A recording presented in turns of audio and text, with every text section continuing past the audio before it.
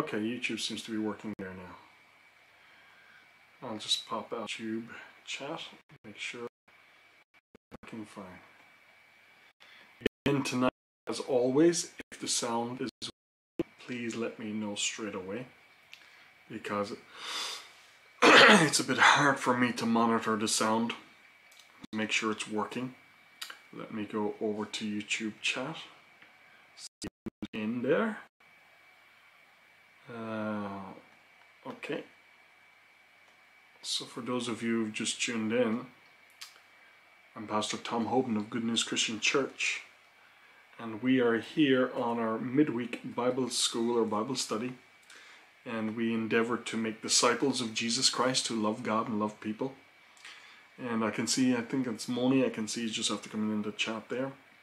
I want to go to Facebook. And on Wednesday nights during this whole lockdown season, we are doing our best to love and serve people by having our classes online, our study online. I think there's one or two people in in, face in Facebook. So if you do come in, please say hi Again, Moni, you're, I think Moni, you're the only person I can see in there at the moment. Uh, uh, so Moni, will you let me know if the sound is going okay? Is the sound good? Is the sound not good? I'm not quite sure who will be here tonight. You said hi to everyone. Hi, Moni. Is the sound good? That's one of the things I need to know, Moni. So if you to let me know if the, uh, let me know whether the sound is good or the picture is good. If you if you can hear. Again, anyone who's coming into Facebook or anybody who's coming into YouTube, make sure and say hi to one another. If you're just popping in, just to let us know that you're actually in and having a look. Uh, let me go over to YouTube and say hi, or Facebook, I should say.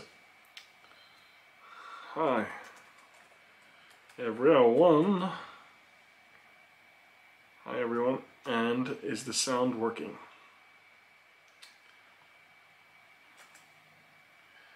Is the sound working? So let me go back over to the YouTube chat. Maybe I'm just talking to myself tonight. Maybe it's just me. Maybe it's just me tonight. Who knows?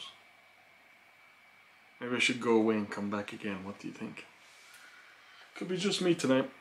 As we know, we're coming up to Easter week, so a lot of people are, again, not quite sure what we're doing. Last week we actually spent some time looking at St. Patrick uh, in the area of prayer, and so if you didn't, you know, obviously you mightn't have been there live, so if you are tuned into that, and the whole area of St. Patrick and prayer and how his prayer life really was the development of him being such a solid Christian and relationship with God, and then he ended up being an, an apostle to Ireland, establishing and planting churches. And his prayer life is a great foundation for that, and he was Pentecostal in his prayer life. What I mean by that is he was spirit filled in his prayer life, uh, led by the Holy Spirit, even started praying in the Spirit during his sleep and praying in tongues. So I don't know. Tonight, I don't know. Something seems to be going on. I don't know if uh, everybody is tuned in or if there's something going wrong here that I don't know about.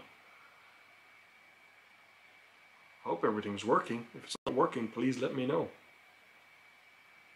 Please let me know. Let me go over to Facebook here and see if there's someone on Facebook. Do, do, do. In Facebook, I see there's two people in there, but I don't know who is in there. Oh, hi, Elizabeth. Hi, Elizabeth. It's good to see you, Elizabeth. How are you and Johnny keeping? I hope you're keeping well. Hi, Ross, all the way from Dublin. It's good to see you. good to see you, Ross. I hope you're keeping well, Ross. I hope you're doing well up in Dublin. Uh, I did try to contact there. Was there any news on any news on the building side of things, I wonder, for the Foursquare Church in Dublin? I did try to contact Vic and uh, Apple recently. Let's give them a call again. And good news on that. Specifically, when we might be ending up actually out of lockdown. Let me go over to YouTube again to see if there's anybody after coming in? No, we're very quiet on YouTube today. Very quiet on YouTube. So, okay, with that in mind, I'm just going to go ahead anyway, because I don't know. Sometimes that can happen. And I just want to make sure. Hi, Mercy. I see Mercy's after coming in there. Uh, is the sound working okay, Mercy? Would you let me know if the sound is working okay? I'm not quite sure, so I just say sound is good. Again, also same with yourselves on um, on Facebook. How are you feeling? I'm feeling well, um, Elizabeth. I'm actually doing well. I had a bit of a battle there last Sunday, was it? But by the end of the sermon, by the end of Sunday sermon, I was actually doing well. I was actually doing well, so that's good. Uh, by God's grace, as you know, I'm fighting a battle here health-wise. And by God's grace, I will win in every way. I have won in Christ already, but in every way, manifest that winning uh, for the glory of God. Uh, who is in there? The sound is okay. Thank you, Moni. Thank you, uh, Mercy. Sound is good. Great stuff. So let's kick in. I'm just going to kick in straight away. Uh, what we're going to look at tonight. We're going to look at an area. Let me get the slides up. The slides mightn't be working because ah, they're the slides from Sunday.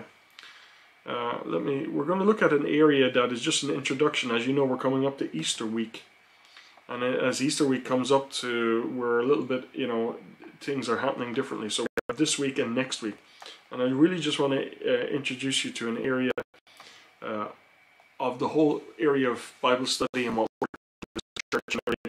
Next week, I'm hoping. I don't know. We haven't pulled it off yet. I'm hoping next week I'll actually be interviewing someone who is, if it works out well, I'll be interviewing someone who is a top theologian within the Foursquare movement. His name is Mar Gary Matsdorf, and uh, I'm hoping that I might be able to pull that off. Now he lives in America, so it's. Uh, well, I'm hoping to try and pull that off. If I can pull that off, it will be great. Uh, we'll be interviewing to some of the subject of what we're looking at tonight. Let me just go back there. Sorry guys, I'm just getting the slides here for tonight. Uh, doo -doo -doo. And if anybody comes in there, make sure I get them to.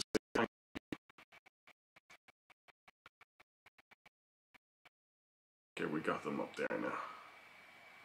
Good stuff. So what I want to look at tonight is a little bit about what we're about as kerygma.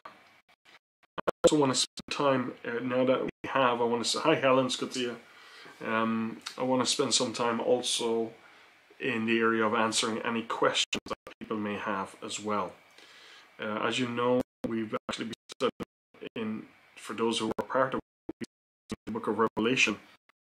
Got back to me. Um, to look at this whole area of kerygma. The whole area of kerygma is an area where is to reproduce. Uh, reproduce on Jesus' just come to save us. He came to also participate in our own um, salvation, as in becoming mature like Him. It's saved us not heaven, but it's also about Christ. And He also wants us to be on His mission, take on His mission, be effective, and to reach out to others, disciple Jesus, and continue on.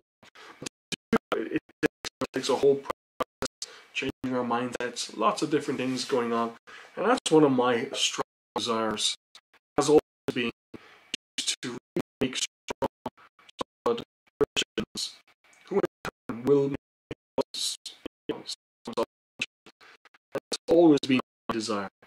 And so, kerygma is part the overall picture of what we're trying to do. I want to remind you of that, and hopefully, talking to us next week if if I can get him, or if I can pre-record, trying to work out something together and to see if I can have him talk about disciple training up solid so that they're effective as a disciple of Jesus, uh, just solid, mature people have a call uh, be stable enough to actually do more in the sense of frontline ministry. But everybody's called to be solid and everybody's called to be a minister. Every single believer is called every single believer is called to become Christ-like. And that also Please let me know. Hi Ross. Same here. The cutting out and, and video's frozen. We can't hear you really well. Okay, just bored. Okay, let me see. Has it come back? Has the sound come back? Are you actually hearing me now? Please let me know if there's a problem still. There's a little bit of a time delay, so uh, hi, just bored. I don't know if we've ever met before. I don't, I didn't see you on before, but you're very welcome. You're very welcome. We have, uh, we're here in our Bible study extremely crackly. Uh, okay. Sound is okay now. It's back. Okay, uh, Helen, is it still extremely crackly, Helen? Hi, Nathaniel. Nathaniel. Just bored. Uh, as in Mercy, as in Nathaniel, is that Nathaniel as in uh, Nathaniel Gomez? Or is that a different Nathaniel? Much better now. Okay, the sound is working fine. Okay. Guys, I don't know where I stopped, where I was talking to myself. Hopefully on Facebook it's all fine now as well on Facebook. Um, oh, it's okay on Facebook. I'm good now, Ross says. Okay, great stuff. Thanks, guys. So I was talking to myself there probably. I'm not quite sure. But uh, Nathaniel, I don't know if that's Nathan as in Nathan Gomez, but uh, Nathaniel. But it's good to see you, uh, Nathaniel. Good to see you. Be blessed, man. Well, again, going back to where we're at. Uh, where was I? I'm not quite sure where I got cut off. But here, anyway, on Wednesday nights, we try and facilitate this aspect of helping everybody to grow. We want to see, it's a passion of mine, we want to see people grow in their faith and to become all that they can be. And that's partly uh, partly what every church should be about and every Christian should be about.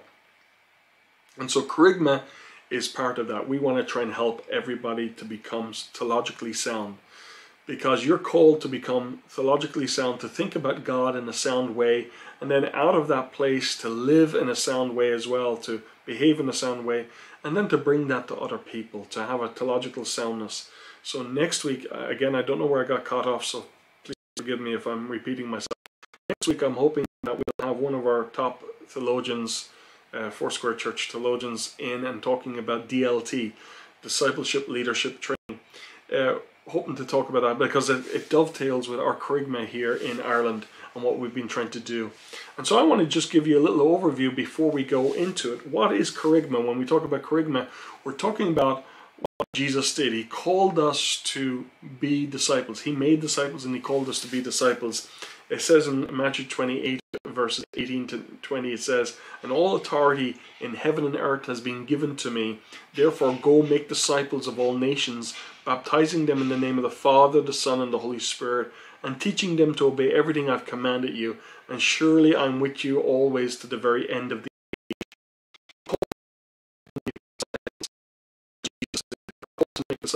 Jesus Christ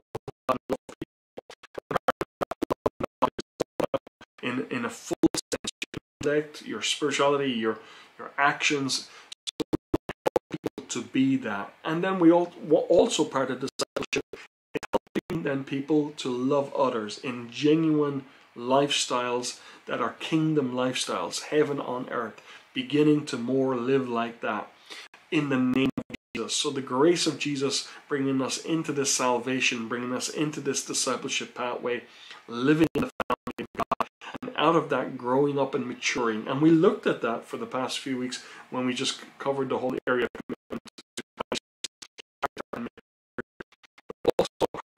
then reaching out and making other disciples. So having that whole process of really changing people's minds as well.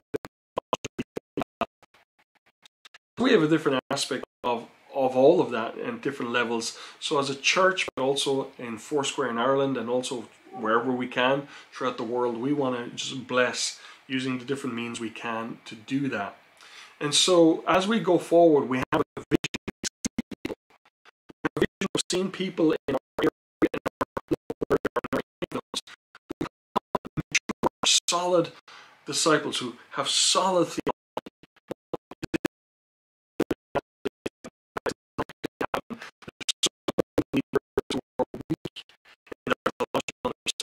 Understanding of God and understanding of how God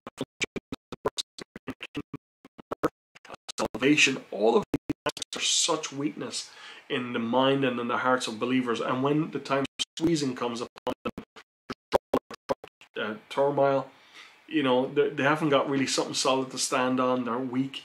When the pressures of the world come on, like in COVID, all of this kind of stuff, all kind of weird stuff comes out of them because they're under pressure. You know, there's just not that strength of character. And then also, even when other waves of teachings comes along, that even if they recognize there's something wrong with the teaching at some level, they don't know how to deal with it. They just shout at it, rather than being able to actually use the sword of the Word of God and bring about difference. And we want to change that. We want to make sure that people become solid theologically and biblically, who have uh, practice spiritual practices, who live out the Christian life well. And we want to do that as best as we can. And then out of that, loving others and and and uh, multiplying disciples. I just realized that these are the these are the old slides. I just realized these are the actual, not the newer version that I just did. These are these are the slides from about two years ago. Anyway, it's still the same stuff. There's a few changes in the new slides, but it'll, be okay. Um, so our purpose is to go forward then and to create that atmosphere and to make disciples who are theologically sound. Our purpose is to go out and help them by proclaiming the gospel and then also help them to proclaim it and to incarnate that word in a living way. That's our purpose in uh, Kerygma. And the word Kerygma is all about proclaiming. But you know, we have certain values, we value certain things as we want to train people up.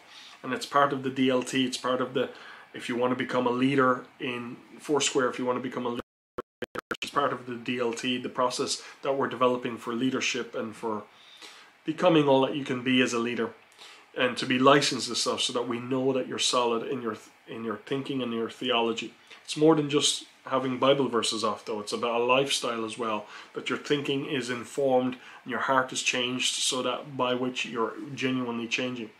So we really value that a person has Jesus Christ as King and Savior in their heart, of course. And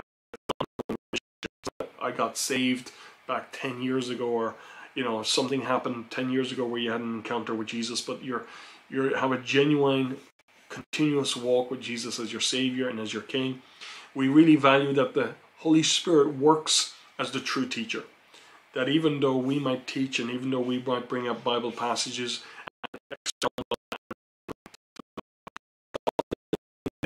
Holy Spirit is the only one who can truly bring a revelation.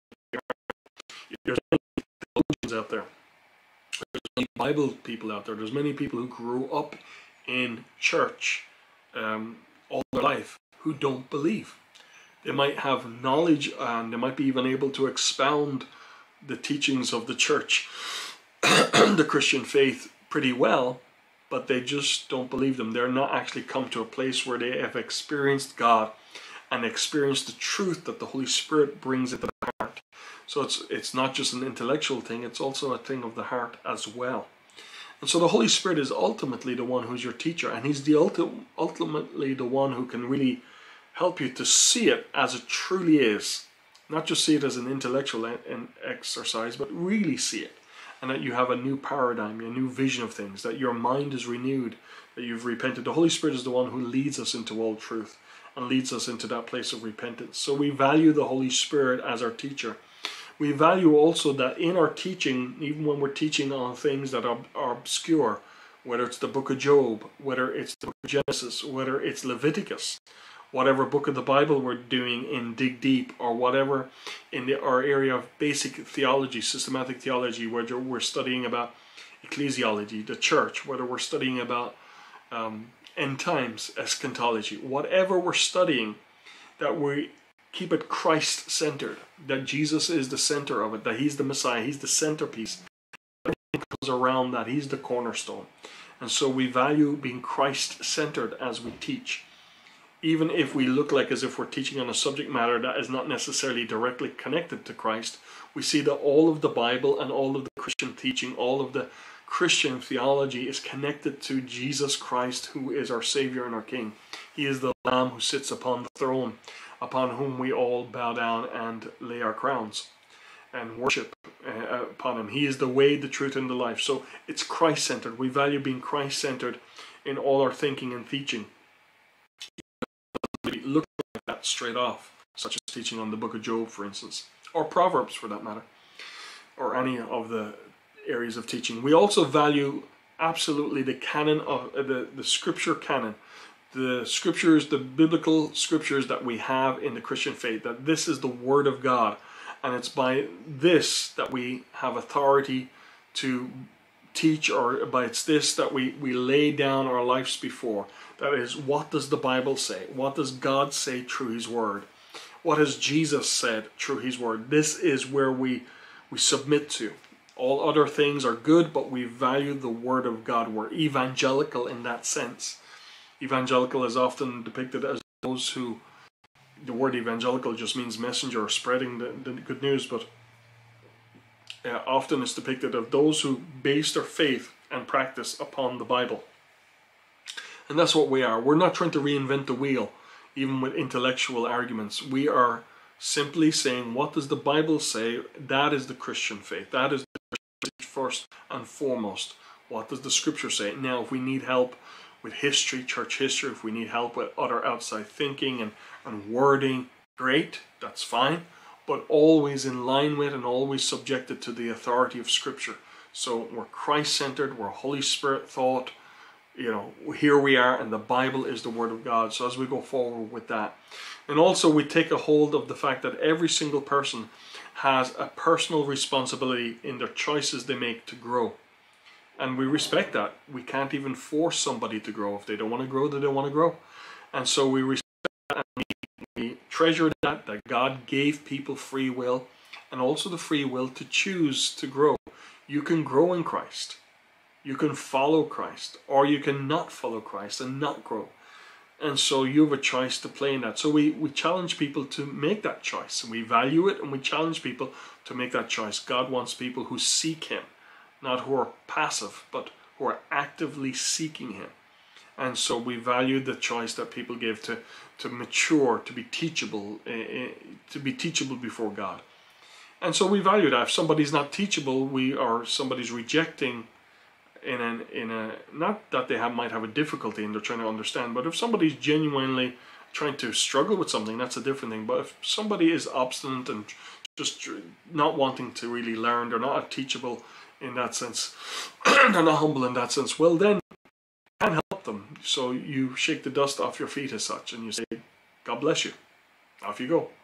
And so likewise, we're not out chasing people in that sense uh, either chasing people to come to Christ or chasing people to grow in Christ. Either way, we're not chasing people. We're leading, we're trying to lead them to green pastures and still waters where they come to Jesus as Savior and King, or lead them to green pastures and still waters where they grow as a disciple of Jesus. But it's up to them to feed and choose. So we, we really respect that. People have free choice. And that also includes, for those of you who are in leadership, remember that these values can go in all of those aspects in church, in church ministry, in church life.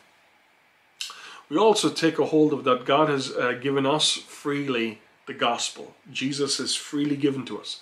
And so, where possible, we want to make sure there's no barriers to somebody wanting to grow. So, everything we do within Kerygma we try and do it with no cost or low cost, meaning no cost is we literally trying to give away everything free, the teaching, everything free. Of course, we do challenge people that as you freely receive, that you should listen to the Holy Spirit and try and support that which is a work of God. And try and support that in the local church, try and support that here on YouTube or wherever we're doing it. And so we do want to encourage that, but at the same time, that there's no barrier. We freely give and without necessarily a, an, a, an expectation or pressure or in any way to receive back. So we don't put a price. We don't put a price tag on our courses, on our teaching. We don't do that. We just challenge people to be disciples of Jesus. And in recognizing that, just as a side note, as recognizing that, we believe that God will touch people's hearts to give, to help support, and even some people who are not receiving anything from the course, people who are just Christians who who sense what we're doing is uh, good and helpful, even though they might be so much involved in their own thing, whatever their own thing is, you know, God has assigned them to do, that they also will maybe support what we're doing in different ways. But we do believe that God will be our source, and so we want to make sure that we freely give and to help people where they're at. No financial barrier. So, you know, I don't know if you know, but today, particularly in America and some other countries as well, that if you're to get solid teaching and solid theological te- teaching, it can cost a lot of money. I mean, a lot of money. Some of the top theological schools, you know, anything from sixteen to thirty thousand a year. You know, some of the top ones. Some of the other ones may be a bit lower in price, but either way, it can be a lot, a lot of money. I honestly believe, and I honestly believe that that is a shame because the church should really be a place where people are. There's sometimes in some colleges they have scholarships and whatever, but really the church should be a place that no matter who's there, that they should be able to go from A to Z in their growth. Growth not and has nothing to do with how much money they have. I honestly believe that, and I think it's a, a bit of a shame sometimes that even the Christian. Um, education system uh, to some degree has fallen into a worldly system. Uh, one of the reasons why Ireland was called the land of saints and scholars, just as a side note, one of the reasons why Ireland was called the land of saints and scholars is because when the Celtic Church was after forming and established, and established monastic um, areas. Now, these monastic areas they didn't necessarily always live in isolation. Sometimes they did, but often they lived in community as well, not just with one another, but close to the local community. But one of the major things about these monastic uh, settlements and, and um, Christian communities is they were very educated. They educated themselves not only in the Bible but also in the education of the world as well. The Celtic Christian Church was a very educated people and then what they did also is they offered the education also free.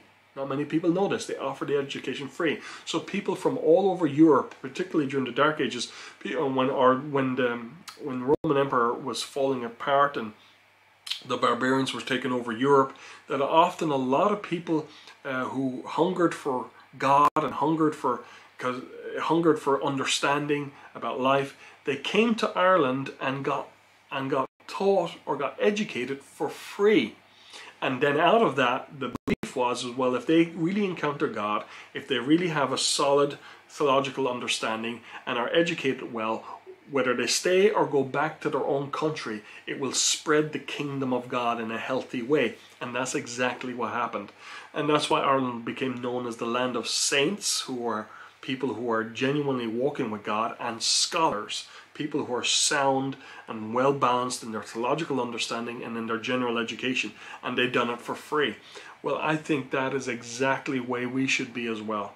I think that's the way the apostles were. I think that's the way the early church was. And I think that's the way we should be today. And I think some of the systems are in place now are actually not good. Now, sometimes you do need to somehow set away funding and, and stuff like that for those who need to study on a more deeper intellectual level, who need to, you know, study the, the Hebrew and Greek languages, who need to study in a way, and you do need that as well. You do need that higher education, and sometimes to fund that is not easy. But generally speaking, I think we have done a disservice in the Christian church today, by which you nearly have the average day Christian and the high theologian, and they never they're not meeting together when they really were all called to be solid disciples of Jesus. And by God's grace, we will change that. And I think persecution will actually change that as well. Amen. Do you know there's people in China who are pastoring churches of thousands upon thousands who have no degrees, but what they have is a solid walk with God and a solid intellectual understanding of the things of God. Amen and amen. Anyway, I just rabbited it on there. So, by God's grace, everything should be, where possible, freely given or low cost in any form, shape, or manner, but freely given. And trusting that God will turn people will turn and support such a work. Some will support it abundantly because of the lack of others, and some will just receive freely and by God's grace maybe grow in Christ. Amen. Uh, so that's one of the values we hold in Kerygma. Another value that we hold in Kerygma is this: is that the spiritual strategy of warfare is also the spiritual strategies of warfare is also in the renewing of the mind that we transform people as they see God differently as they see themselves differently as they see the world differently in their paradigm and their, in their thinking. And in that way we're actually having spiritual warfare. And that's a strategy of God. You know Jesus preached again and again. He was preaching using words using the seeds of the word to bring about the harvest of the kingdom but also using the word as swords, uh, you know, the sword of the word of God, and dealing with and, and defeating evil and bringing forward his kingdom. So we truly believe in the strategy of Jesus. Paul and the apostles went about doing the same thing. Through preaching and teaching, people become born again as they believe the truth. Not only born again as through preaching and teaching, their minds are renewed to think differently, to see differently. And out of that, the kingdom of God begins to establish in their heart in their lives, in their actions, and the kingdom of God spreads. But it starts through the preaching and teaching and through the changing of minds. We believe in that strategy. That's a strategy that is from the Bible. That is spiritual warfare in its essence. Is one heart at a time, one mind at a time, or multiple, uh, you know, in, in some settings, where their thinking is changed, where they repent and they change the metanoia, changing in their thinking, and brings about the kingdom of God in their lives and the lives of those around them. So we believe in that strategy, and, and hence why we want to have solid theological understanding and biblical understanding. Now, uh, an area that is not in this, but it would, it, in the new slides, it would be number eight would be different. Number eight is this: is we believe or we value very um, intellectual, strong, clear, intellectual, solid thinking. And that that is a way forward, that God wants us to love Him with our mind, to have clear and solid thinking about these things so that we can then also communicate the truths in a clear and solid way. We, we value clarity of mind, we value clarity of intellectual thinking. And when I say intellectual thinking, I'm not talking about something highfalutin. I'm talking about just simple. Jesus spoke clearly and intellectually solid, and so we're called to have the same kind of mindset. Uh, number eight, or well, it would have been number nine now. We value uh, mentorship and relationship as a role in discipleship. You know that that we're connected. We're not we're not just have a relationship with God, but we're connected to one another, and we need each other's help. And so we value relationship and mentorship in its truest form discipleship. Discipleship is not just a class. Discipleship is one life affecting another life. It's more than just a class. And, and so we value, in that sense, community in a church setting. We value that in a sense of life groups, but we value that in a sense of also trying to create this atmosphere of discipling one another, helping one another, whether in a, uh, a whether it's in a fitting where we're discussing things together or whether it's in a sense of I have a little bit more and I'm sharing with you to help you to come forward. So we value that. And then also lastly we value, which would be number 10, it's number 9 on the slide there, but we value in essentials unity, in non-essentials liberty, and in all things love. So in essentials unity, you know that there is some essentials and that we are called to have a, a solid and clear and clarity thinking on those essential things, no matter what Christian we are, no matter what church we're going to. But we also know that there's non-essentials and there's a certain liberty in non-essentials. And we, we can value that and we can value the variety of that and it's it's not only okay, it's actually to be somewhat celebrated that to some degree different strokes for different folks in, in some areas and in some cultures and in some aspects and to value that and to see that. And that's okay. And to know the difference, to be able to discern the difference. But no matter what, particularly in discussion with people who are non-Christian, in discussion with people who are Christians, but might have a different viewpoint in all things. Eh, of course, in essentials, we want unity. Jesus is Lord, first of all. Jesus is rose from the dead, such a thing. Jesus died for our sins. In essentials, unity, but in non-essential liberty, but at all times to express the essential kingdom value of love to express at all times whether we're discussing essentials or non essentials or whatever we're discussing, either within the church or without the church, even to non believers, even to atheists, even to rebellious people, but particularly those who are part of the church family, both our local church family in our discussion groups here or discussion group with anybody else, is that at all times the kingdom value of love and respect shown at all times. So we value these things as we go forward in kerygma, learning and becoming disciples of Jesus. So to make disciples, to make disciples who our strategy is to make disciples who think the mind of Christ, who, who grow and, and have that uh, a good solid understanding, a healthy, sound disciple, and then those disciples gathered together make a healthy and effective and sound church. You will never have a healthy and effective sound church just because one or two people are. We need a whole body of effective and sound disciples.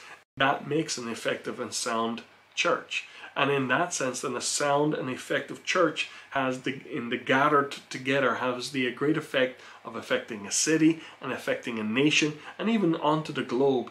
That we're called. That is the strategy. Make disciples. That makes healthy church. That makes a healthy church movement within a nation or a region, which helps to create a whole kingdom atmosphere in an area. This is a, it's not a rocket science. It really isn't. It's when I say rocket, it's not difficult. It really is a strategy within the Bible, and we just need to stay with God's strategy. Stay at it. Stay at it. Persevere in God's strategy, and know that these things actually make an effect, and that you and I are part of that. So, Kerygma is about everyone becoming a disciple of Jesus. Every single person recognizing the disciple. It's about making discipleship. So our kerygma, what we're about, is really trying to create that atmosphere of making disciples. Now, the word kerygma, in its original form, means proclamation. It comes from the area of crying out or proclamation or you know the the newsreader newsing the reading out the news not so much on TV but the street corner you know hear ye hear ye hear ye type thing and proclaiming out the truth or the good news of what has to be said or the news. So it's a proclamation. It's it's the declaring out what the king has said or the latest good news. And so that's where kerygma comes from. But it was used again and again in the New Testament. And so when we talk about kerygma, we particularly see it in the life of Jesus, where Jesus, when he came out of his time of preparation and time of prayer and fasting, as he launched his ministry, he went into a local synagogue, and when he was in the local synagogue, he took up the scroll of Isaiah and he found a passage of scripture within the the book of Isaiah, the role of Isaiah. And this is the passage that you're probably well familiar with. It says, The Spirit of the Lord is on me because he has anointed me to proclaim. Now, that word proclaim there is kerygma. The Spirit of the Lord is upon, is upon me, and He has anointed me to proclaim the good news to the poor. He has sent me to proclaim the freedom for the prisoners and recovery of sight to the blind, and to set free the oppressed, to proclaim the year of the Lord's favor. I want you to notice here three times the word proclaim is there. The power of proclaiming. Now, Jesus proclaimed it in not only words, but he also proclaimed in how he reacted with people, how he interacted with people with love and compassion. And he also proclaimed by also demonstrating the kingdom of God in power. So we see in Jesus' life words and lifestyle action and in power. And so likewise, when we're talking about kerygma, we are in one sense taking a hold of that, that we're called to really think the thoughts of God, to speak the words of God, to live the life of God and to demonstrate the kingdom of God. We're called to think the thoughts of God, speak the words of God, to live the life of God, and to demonstrate the kingdom or the power of God. And that's what kerygma is about on those levels, all of those levels, as a disciple of Jesus Christ. And we want to create that atmosphere, we want to help one another to be that, to be a proclamation. That in one sense, that our lifestyle incarnate, the incarnate Christ, the, the Word made flesh, that Jesus showed us God, that we too are incarnation, incarnation of Jesus. We, we too are proclaiming Jesus by our lifestyle because of our thinking is different. We change our thinking and Jesus is able to flow through us. And then also that we speak it out. We speak it out with the seeds and the truth and the sword of the Word of God, and then also even minister it in different ways, whether we're called to minister in, in very public ways or very private ways, that we're also called to be that. So we're called to be a kerygma as such. We're all called to proclaim. And this is a passion of mine, is that not only I would be better at being a proclaimer in my thoughts, in my in my actions, in my words, and in ministry, but that others would also, that I would help others to really be that. And that's one of my heart passions is to be that. So that's why we're called kerygma. You know, it says in scripture, it says in Romans chapter 10, verse 14, it says, How then can they call on the one whom they have not believed in? And how can they believe in the one whom they have not heard? And how can they hear without someone preaching to them? You know, God wants to bring about His kingdom in your life and in the lives of those around you. And so He wants you to be that incarnate Word. He wants to bring it to others.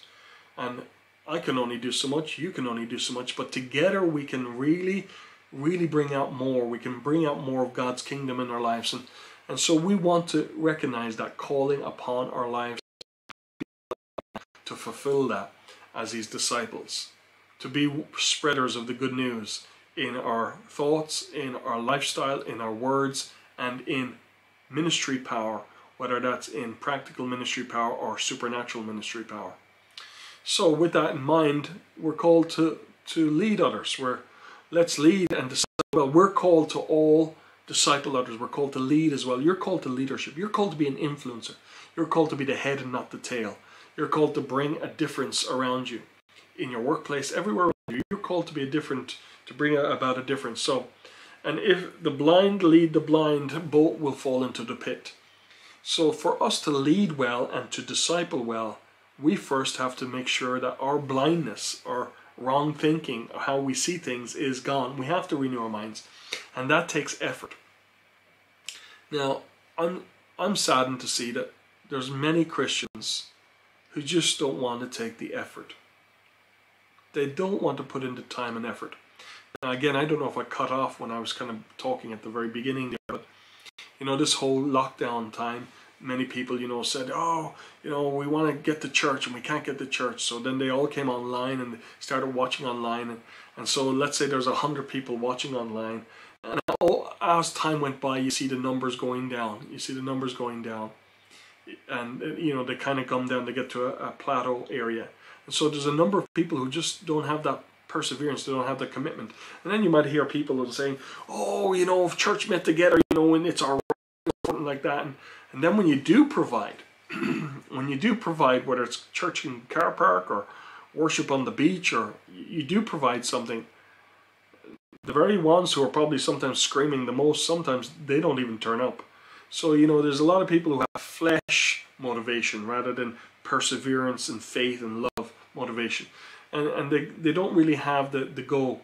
And it's sad that many Christians today, it's sad today that there's many believers, even though we have Bibles at our ears, we have the opportunity like crazy with technology, with books, everything. There's many Christians today who won't take the time to take the plank out of their eye. They won't take the time to cleanse their thinking, to do the work of thinking hard, to love God with your heart and with your mind.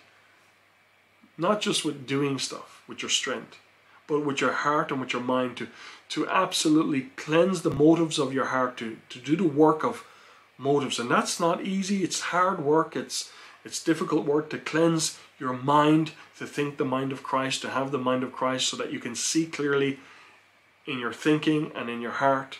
So that then when you do love God with your strength, you're not actually doing the wrong thing, the wrong place, the wrong time, but you're actually being more effective. You're being more effective.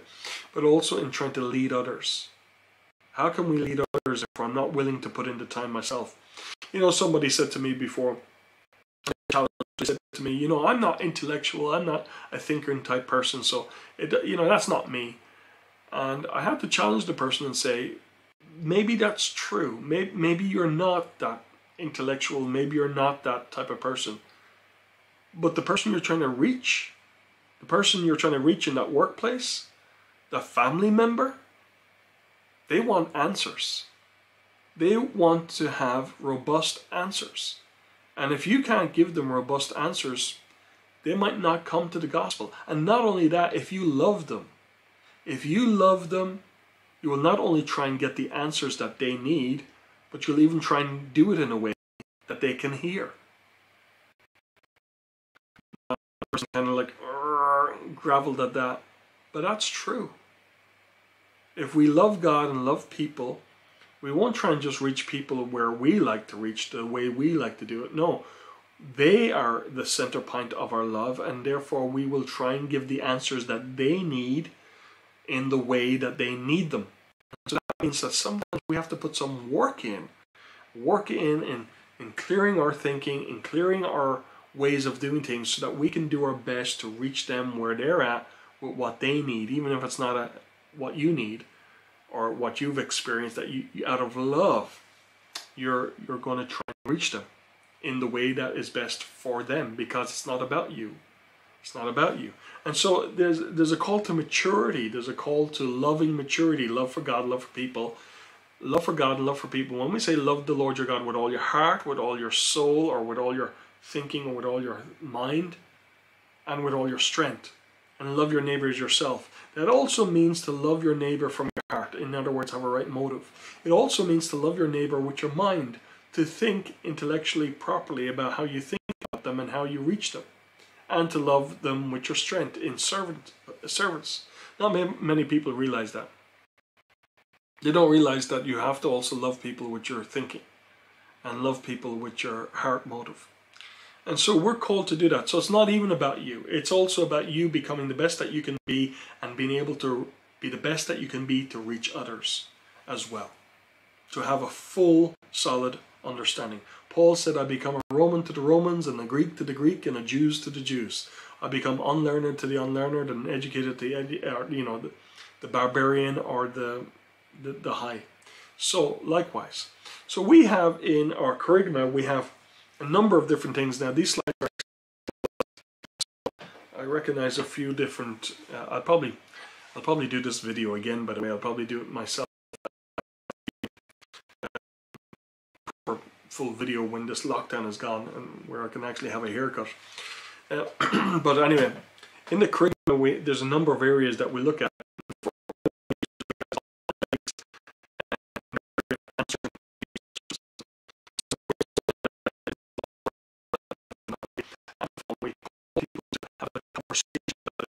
Life, about God, about the things of God, and, and help them and call them to respond in faith. And there's also on a deeper level, there's a thing called uh, polemics, which is the whole area of internal arguments that sometimes even happens in within the family of Christianity, and to deal with that. So there's a level in the sense, the very very, very first level of antiphon, or just you know basically helping people to understand, answer those questions, and to move on. But then there's also the A level on a deeper level of apologetics, why we believe Jesus rose from, from the dead, why do we believe that the Bible is the Word of God, you know, giving some solid intellectual answers to that.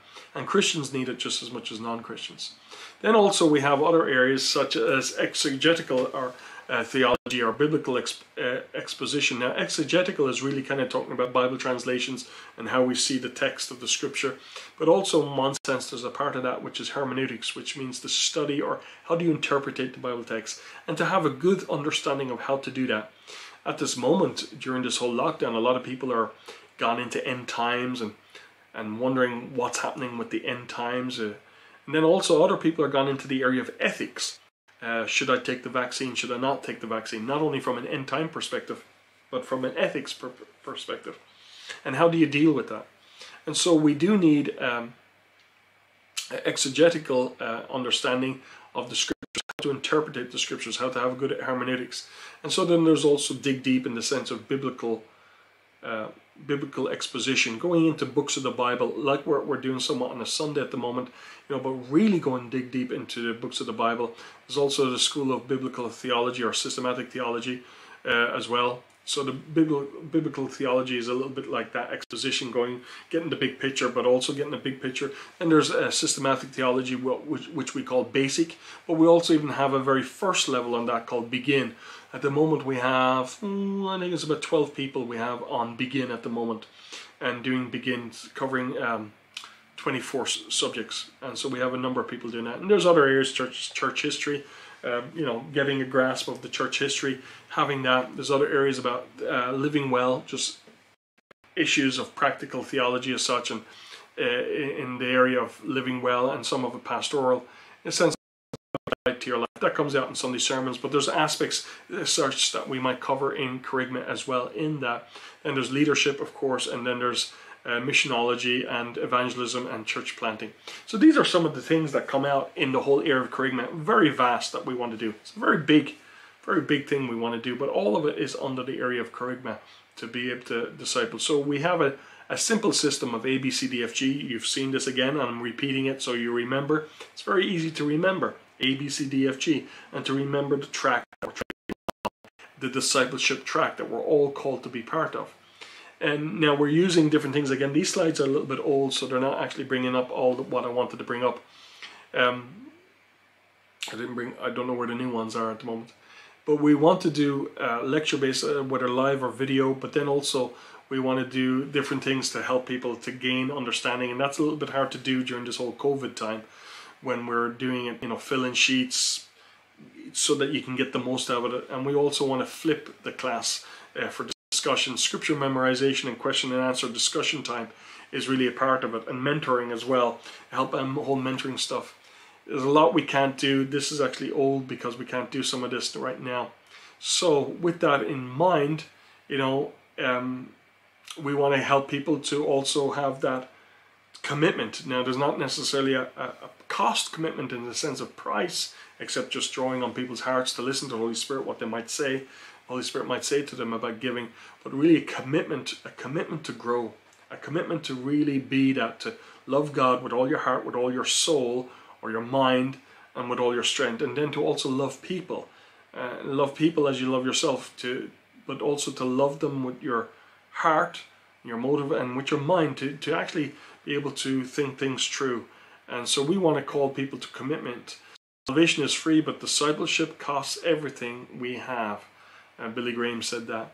So we're calling people to that, and you know, for people to really think well, and at the end of it there'll be MCQs. Now, I say all that to really bring out, uh, as well as that, uh, I want to really. I'm just going to skip some of that part about the exams and stuff like that because it's a little bit out of date. I say all that to say that we really want to develop people, and those of you within Foursquare as well as that to connect to the whole DLT, that and training.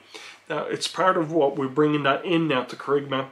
Uh, Foursquare recognizes around the world that they want to really bring this type of thing we were trying to do already, and some countries have done it, but they want to really bring this all over the world. And um, with that in mind, to really have stable disciples who make stable churches and stable leaders and develop people as far as they can go. So, with that in mind, that those who go through it as well, a certain that we want to license them and give them the freedom to be able to do what God's called them to do and have that confidence to know that they they've done enough to be able to go and to feel free and confident and competent that they can go forward and minister. And so what we are going to cover after Easter, after Easter we're going to go into the whole area of Bible interpretation.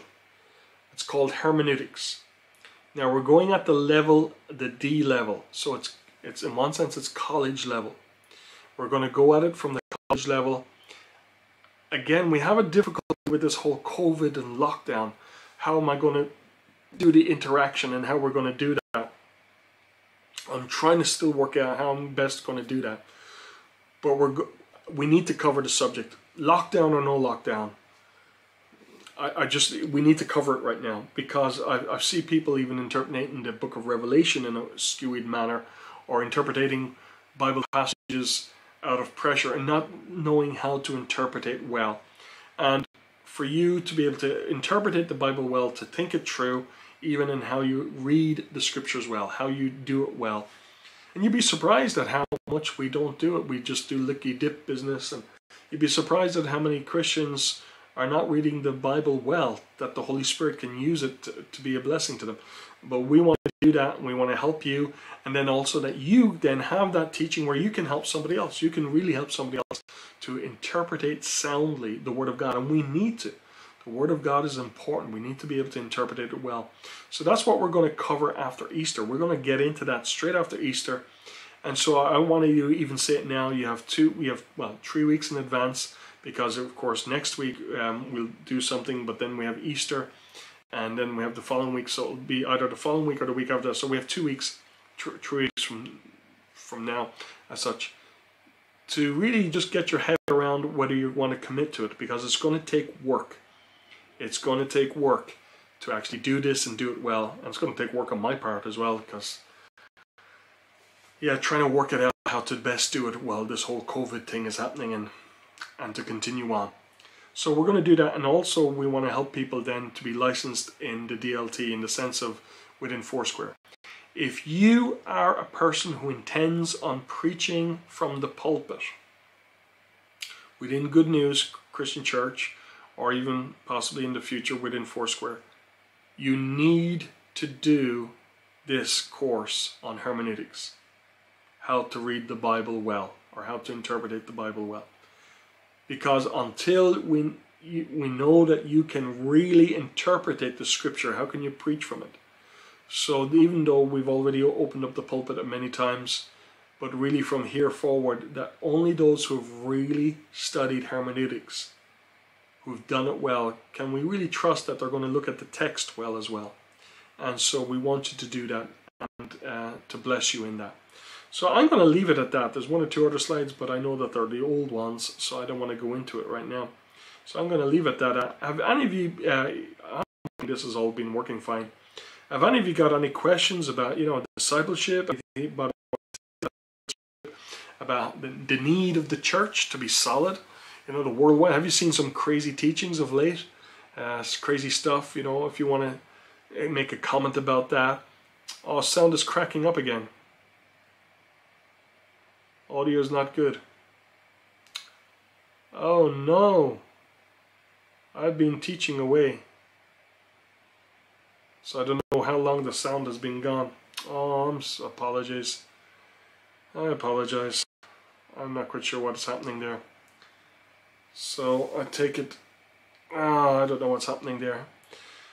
So anyway, while you're here, um, while people are here, if there's anything you want to say about with regards to discipleship right now or with regards to the church hi jamie i see you after coming in there on facebook. With regards to the need in the church you know to grasp the things of god to have a healthy church healthy disciples. Have you seen many un- unhealthy disciples? You, do you see a need for this in the church worldwide? You know where are you at uh, in the need for this. Uh, again, I think the sound was really bad, so forgive me, I apologize for that. But if you say anything there, the sound is just okay. It was just a few minutes ago, okay. Okay. But if you have anything there that you want to share, um, again, you you know these things are, are really important and need in, in the church, and it's a passion of mine. It's a passion of mine to see the church really become healthy. So I don't know how many people are. Ross, I see you're after moving over to YouTube. Facebook got, Facebook must have been messy or something. It's good to see on YouTube. Uh, so if you if you recognize there's a need for that, we have a need in the church, every single one of us, to really read the scriptures well, to interpret the scriptures well. And I just want to encourage you to really consider when we do, not just because of lockdown, but really consider doing it and doing it well. It's one of these foundation stones, hermeneutics, how to study, how to read the Bible well, how to study the Bible well. So that's really it for tonight. Unless something comes up in the discussion there, I just want to see anybody anything. I know they're saying the sound is back. Good stuff. Oh, it's a different Nathaniel. Well, I don't know if Just Bored Nathaniel is still on, but it was good to have you tonight, sir. And be blessed and be a blessing. I don't see, uh, said he's Ross's son. Oh, it's Ross's son. Oh, I see. Oh, I see. Okay, good stuff. Good stuff. Uh, your son as well, about uh, your son as well, about 14. Is that your son's age? Good stuff. Good to see. Great stuff, guys. Uh, okay, that's it for tonight.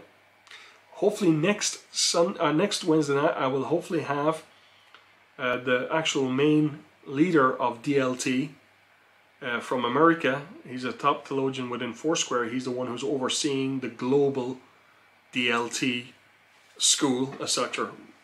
movement. And I'm hoping that I might be able to interview him and have him either live or at least a, a recording and just again giving some of the overview of DLT and what we're trying to do. So I really would encourage you to tune in next Wednesday night and have that. Of course, we will have different things happening as well on possibly on Good Friday night, and we'll also ha- he's 12. All blessings. It's a good age to be to learning truth. It's a good age to be learning truth. Um, or we'll also ho- hopefully have something on Good Friday night with regards, and I'll get a text message out of that. Uh, again, Easter Sunday's coming. This whole lockdown, it's a messy situation right now. What way we want to try and do things for Easter Sunday? I'd rather do something more vibrantly and together, but however, we are where we are.